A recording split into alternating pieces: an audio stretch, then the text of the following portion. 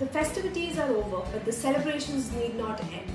So, in the spirit of Diwali, he has asked me to make her favorite laddus, the coconut laddus, once again. So, here we go. The recipe is very simple with just three ingredients milk, coconut, and sugar. But I love to add my personal twist to it with 24 Mantra Organics nuts. Add 1 cup of grated coconut, 1 cup of milk, and half a cup of powdered sugar in a bowl and mix well. Knead the mixture and roll it into small laddus. Garnish it with dried coconut and 24 Mantra organic cashews. Here we go.